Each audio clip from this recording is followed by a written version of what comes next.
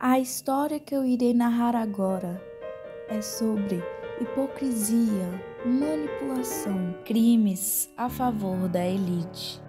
Mas nesse antro de coisas ruins cresce um amor, um amor infelizmente proibido. Vamos começar do começo. Padre Amaro chega a Leiria, onde ele irá substituir o ex-padre que veio a falecer. Padre Amaro nunca quis ser padre, mas por causa da Marquesa de Alegros, ele decidiu seguir a carreira sacerdotisa.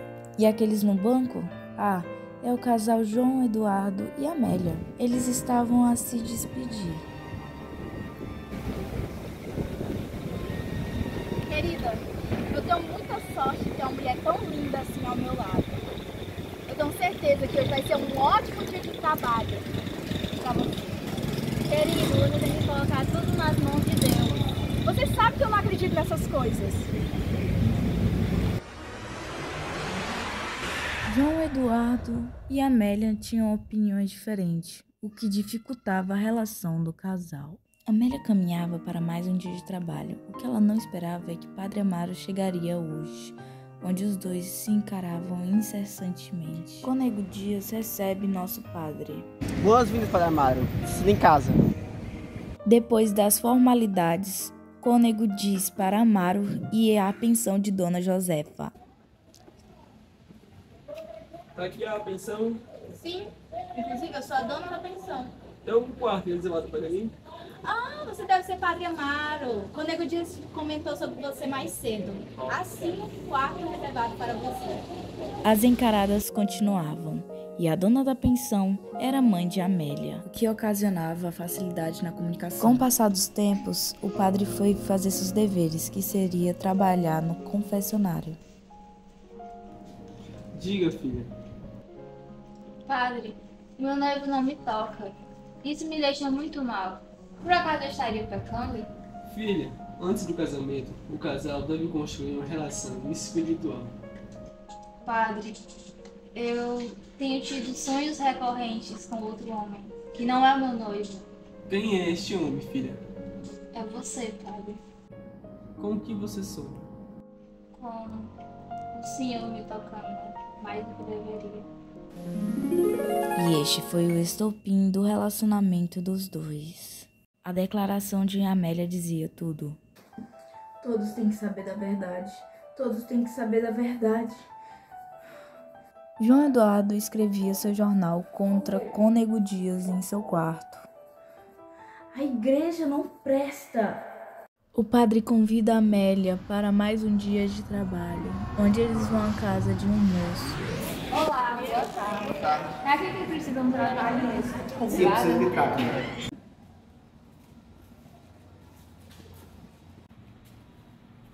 Oi, mocinho. Toma esse livro enquanto eu converso com o padre.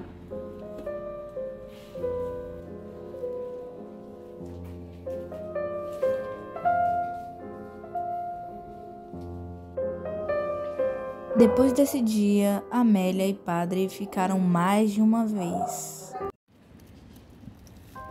João Eduardo, nós precisamos conversar. Eu não sinto mesmo com você. Como assim? Melhor nos separarmos. Amélia nunca gostara de João Eduardo.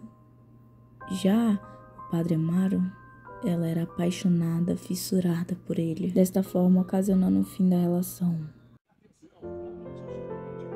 Meu Senhor, perdão pelos meus filhos.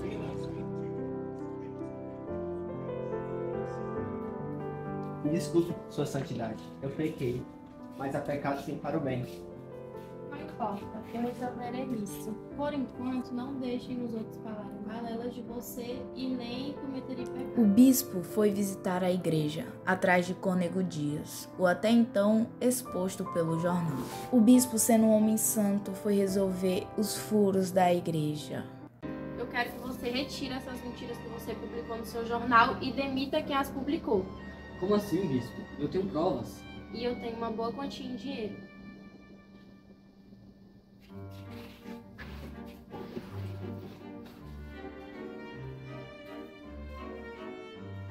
Tia, você me chamou?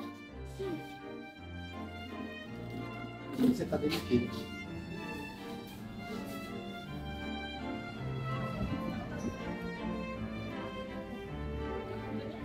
Eles não estão preparados para a verdade. A verdade, meus filhos, eu conto-lhes agora. Cônego Dias não usava dízimas para construir o hospital, e sim a lavagem de dinheiro de traficantes. Como ele conseguia? Ele batizava o filho desses traficantes em troca de dinheiro. Me diga, há algo entre o padre e a Amélia? Há algo entre o padre e a Amélia?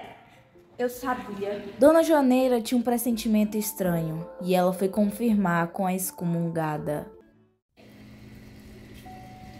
Eu fiquei sabendo que a Amélia tá treinando pra ser feira com o Padre Amaro. Como assim? Eles ficam trancados no quarto escuro todo dia na minha casa. Conta a devoção a dela, né? Amaro, todos os acontecimentos, você quer dizer mais uma reputação? Eu não tive culpa. Você teve sim. Você fez um voto de castidade e descumpriu. Eu nunca concordei com o voto de castidade. Fale mais sobre mim e todos saberão da Santa Agostinho. Santa Agostinha era a persona de Dona Joaneira, a amante do padre Cônego Dias. Amaro, Amaro, eu estou com o fruto de nosso amor em meu ventre. Amélia, pare de brincadeira. Eu não estou brincando, Amário. Eu estou carregando nosso filho. Você vai tirar essa criança. Não, Amaro, eu não vou. Eu só me importo comigo. Só me importo com minha carreira. Eu vou embora com meu filho. Você vai fazer o que eu mandar. Amaro estava assustado, agressivo, mas ele tinha um plano. Dona Joaneira, quero que os pés de Amélia bem longe daqui. Ó céus, você embuchou a menina? Não, não, nada disso. Minha Nossa Senhora, que Deus a tenha. Dona Joaneira havia captado a mensagem, concordando com o padre Amaro, com medo de suas ameaças. João Eduardo, eu percebi que eu cometi um erro terrível e eu te quero de volta. Sério? Sim, eu percebi que você é o grande amor da minha vida. Mas vamos nos casar.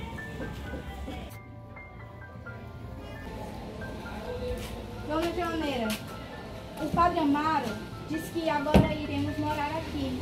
Sim, vocês irão morar comigo. Ótimo! Nove meses depois. Amélia se sente fraca após o parto. Não entende o que está acontecendo. João Eduardo fica super preocupado e fica ao lado dela. Percebe que a mulher mais incrível do mundo está morrendo em seus braços. Ele fica com ela até o último momento. Hoje estamos aqui para se despedir da Amélia.